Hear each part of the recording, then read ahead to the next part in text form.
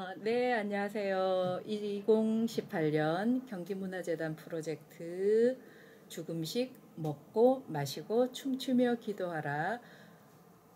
어, 제가 죽음에 대한 어떤 단편을 프로젝트화 하는 거예요. 2018 죽음식은. 근데 이제 우리 죽음 이러면 눈 감으면 죽음이고 눈을 뜨면 사는 건데요. 죽음이 참 무섭고 우리가 경험하고 싶지 않은 것이거든요. 이 삶이 끝나는 건데 이 끝난다는 것만큼 소름 끼치고 오싹한 건 없는 것 같아요. 그래서 죽음을 이렇게 드라마로 한 영화 뭐 아주 많이 있죠. 근데 죽었다가 다시 살아난 사람 사실은 없고요. 그래서 죽음에 대해서 오늘 동욱 씨하고 좀 잠시 이야기 한번 나눠볼게요. 이 프로젝트를 기획하게 된 계기는 죽음식도 졸업식, 입학식, 뭐 은혼식, 결혼식처럼 음. 좀 재밌게 좀 즐기다가 좀 죽으면 어떻겠어라고 하는 어. 거기에서 이제 이게 온 이제 프로젝트인데요. 어, 죽음에 대해서 조금 한번 얘기 나눠볼게요. 죽는다. 네. 어떻게 생각하세요? 음, 저는 죽는다라는 이야기를 들으면 사람한테 가장 필요한 필요한 것들 중에 하나라고 생각을 해요. 필요한 것들 중에 하나. 네. 네. 무섭거나 두렵거나 이런 감정은. 그러니까 뭐 다들 살면서 뭐 이런 얘기 좀 웃긴가요? 네. 죽을 뻔한 경험들은 다들 하나씩은 그렇죠. 있으시잖아요. 네, 뭐 네. 교통사고를 당할 네. 뻔한다든가 네, 높은 데서 떨어질 뻔한다든가. 네. 근데 그럴 때 느꼈던 거는 잠깐의 무서움은 분명히 있었는데 네. 그게 그냥 본능에서 나온 것 같고 음. 뭐 이렇게 없어진다거나 내 의식이 없어진다는 게 네. 그 두렵지 않을 수도 있겠구나라는 생각을 조금 했던 것 같아요. 저는 그때. 젊고 패기가 넘쳐 그런 건 아닐까요? 글쎄요. 어, 그럴 수도 있을 것 같아요. 네.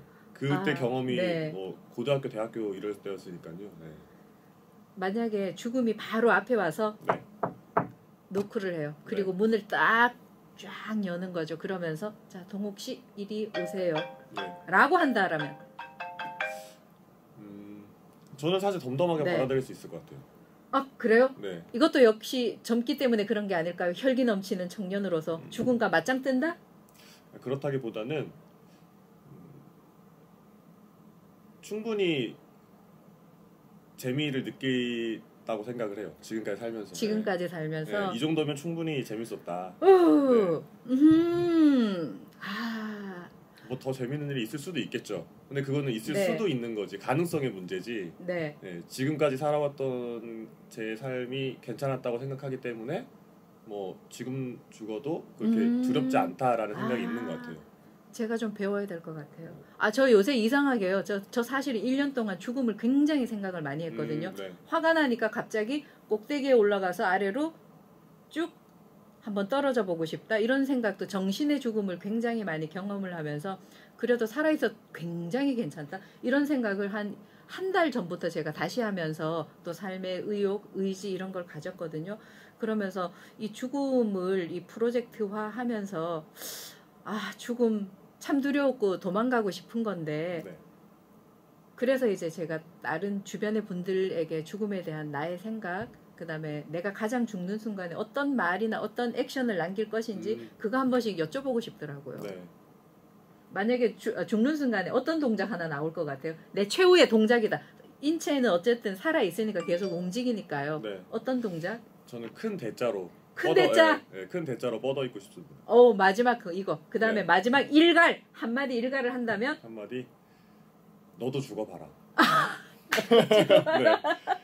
누가 보고 있을 거라는 가정하에 네. 누가 보고 있을 거라는 가정하에 네. 근데 만약에 이제 죽음이 바로 내 눈앞에 왔어요 네. 어떤 보, 이제 형태도 있다라고 치자 우리가 모든 것들은 다 형태를 통해 가지고 사물을 인식을 하니까 네. 보이는 그 형태가 딱 와서 바로 앞에서 눈을 딱 뜨고 나를 보고 있어 네. 그러면 그 사람하고 뭐를 할 것 같아요 그 음, 대상과 저는 그 외국 힙합 영화들 보면은 이게 손으로 이렇게 핸드로 네. 이렇게 하이파이브처럼 그렇죠, 이렇게 하잖아요. 거. 그거를 한번 시도해 볼 것 같습니다. 이렇게 하면서 네. 몸이 쭉 왔냐. 이러면서 왔냐 네.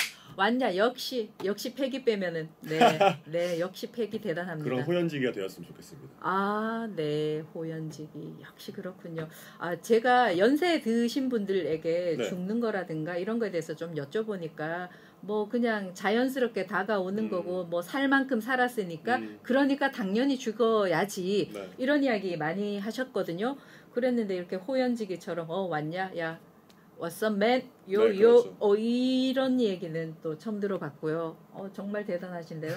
그러면은 죽음이라고 하는 사후 세계 깨부시고 싶다 이런 생각 없으세요? 저는 그 사후 세계를 고민하는 게 네. 의미가 없다라고 생각을 해요. 아 의미가 없다. 네, 지금 여기서 낸 퍼포먼스나 네, 여기서 한 짓거리들 때문에 사후 세계가 결정난다는 게 네, 음, 그 신빙성이 없어 보여요. 신빙성이 네, 없다. 이거와 전혀 동떨어진 다른 세계라고 하면 지금 우리가 갖고 있는 선과 악의 잣대도 거기 안에서 달라질 수도 있겠다라는 네. 생각이 들어서 네. 그러면 사후 세계는 사실은 성과 악 뭐 이런 거는 사실은 없을 것 같아요. 네. 있다라면 그리고 또 죽어본 사람도 없으니까 잘 모르고 네. 그죠. 네. 그렇다라면 어, 죽기 직전에 이제 우린 살아 있으니까 한 마디씩 해본다면요. 죽기 전에 네, 유언인가인가요?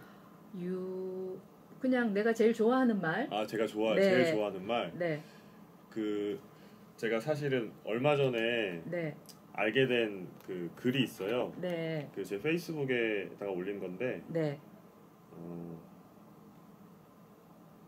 한번 볼게요. 네. 잠시만요. 아 이거 미리 준비했어야 했는데. 네.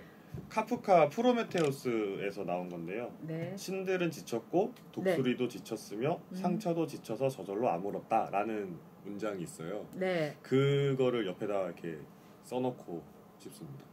다시 한번 천천히 낭독 부탁드릴까요? 네. 신들은 지쳤고 독수리도 지쳤으며 상처도 지쳐서 저절로 아물었다. 네. 네.